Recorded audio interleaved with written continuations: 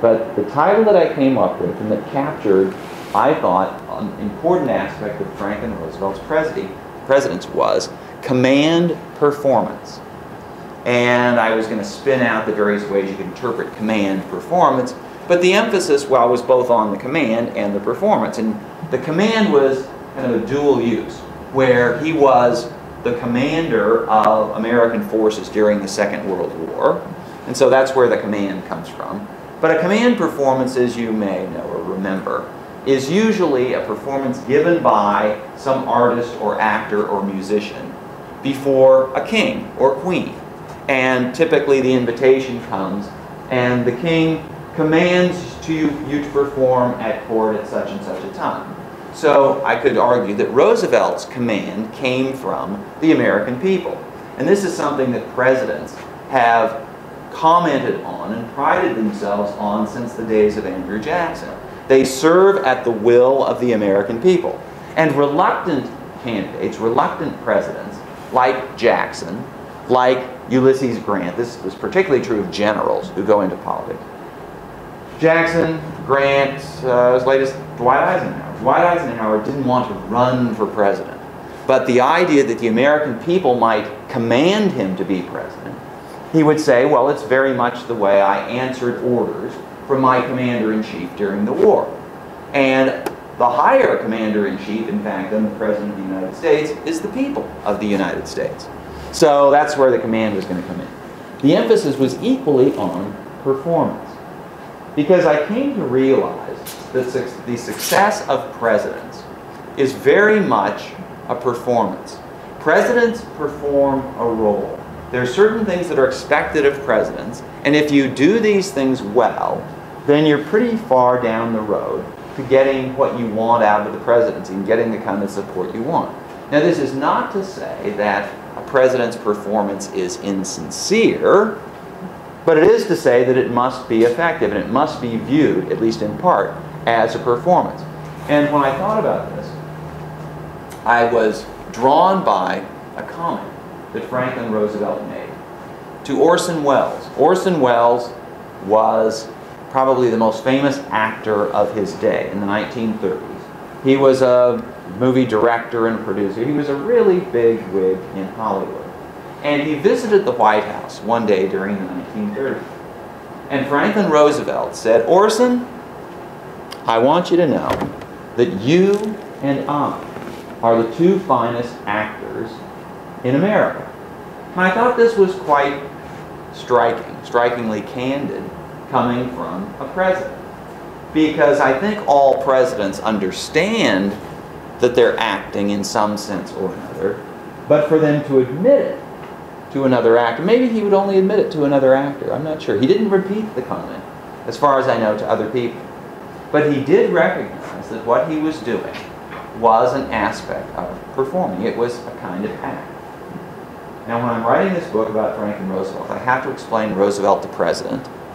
I also have to explain Roosevelt the man. This is a biography. This is a life of Franklin Roosevelt. And this notion that he was acting seemed to me to provide a kind of insight as well into the, the individual, into the personality. Because I remember an interview I heard on the radio years ago. This was probably 20 years ago. And I remember the comment. It was, I think it was an interview. Actually, excuse me, it may have been on television. Because I think the interviewer was Dick Cavett. And I believe that the interviewee, I'm, I've searched for this on Google and various other places. I can't find it. I'm pretty, I know I'm not making it up. But I may have misremembered exactly who the actor was. But I think it was the Broadway actor and movie actor Joel Grey. And the interviewer, Cavett, asked Joel Grey if after all these years he had spent on stage, on screen, if he ever suffered from stage fright. And Joel Grey said, no, not stage fright. What I have is life fright. And what he explained, what he went on to explain was that he found acting to be so congenial because when he was on stage, when he was filling a role, he could get outside of himself. It was sort of the self of himself that he was afraid of. When he had to be himself, that's what made him nervous. When he could be somebody else, then he could be sort of anybody else. And anybody else was preferable to himself. So they were things in his own head, in his own psyche, that he was uncomfortable with. And he found the greatest comfort in getting outside of that. And I've, I've thought about that for a long time. When I've observed people who are in positions where they're performing. And when I came across Franklin Roosevelt's comment to Orson Welles, I remembered this interview and this remark that this veteran actor had made. Say, no, it's not stage fright, it's life fright. And the more I got to think about it, the more I came to the conclusion that the way to understand Franklin Roosevelt, and when you're writing a biography, you're trying to figure out what the key to the life is, the secret to understanding this particular individual. And maybe it's not insignificant. How many of you remember the movie Citizen Kane? It's Orson Welles' most famous movie. And if you remember, the way the story goes, Citizen Kane, who's modeled on William Randolph Hearst, has died. And a reporter goes out and tries to figure out what the secret of this life was. Because here's this kid who was born to a very wealthy family, and he he had to make his own mark in the world, and he became this publisher, he became a Hollywood producer, he spent money lavishly, he had numerous affairs. He was somebody who was sort of thrashing around in life, trying to figure out what it was all about.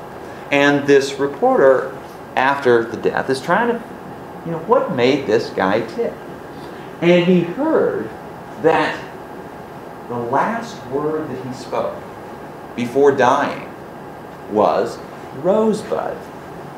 And so this good reporter is trying to figure out what's Rosebud. He figures that Rosebud must hold the secret to the life of this very wealthy individual who seemed to have everything except happiness. And so he goes back through his life, and it's through the eyes of the reporter that we see this life unfold. And so we see the various phases of Kane's life, William Randolph Hearst's life. And the reporter goes through the whole life and he's trying, to interviews people, and he's trying to find the story, trying to find the secret, trying to figure out what Rosebud meant. If anything, he's not sure that it really holds the key, but, but he thinks that it does. And so we get to the end of the life, and we get to the end of the movie, and the reporter is stumped. And he just can't figure out what Rosebud was.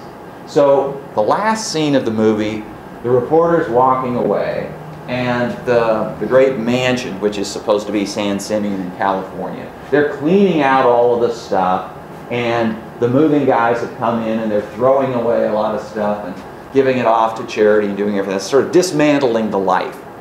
And the last scene of the movie, there's this big pile of trash that's being burned. And the camera scopes in. And in the middle of this pile of trash, just as the flames are licking up, is this childhood sled, this toy. And the brand name on the sled is Rosebud. So anyway, when I'm writing a biography, when I buy any biographer is writing a biography, we're all looking for the key to understand the life. We're looking for rosebud and what it means. Now, you can't explain a whole life through a word, a rosebud, or a single key, but I think, at least I've concluded, that it simply comes with the territory of reducing a life to a book. That you know, life takes 60, 70, 80 years to live. If I'm writing a book, it might be a long book. It could be as long as 800 pages, and it might take you 20 hours to read. But 20 hours compared to 80 years. So you take this life and you boil it down. And you try to find something that explains the life. So I concluded that the way to explain the life of Franklin Roosevelt was that he, like Joel Grey, suffered from a kind of life fright, and that he was more comfortable on stage in this role than he was as an individual. Now, why did I come to this conclusion?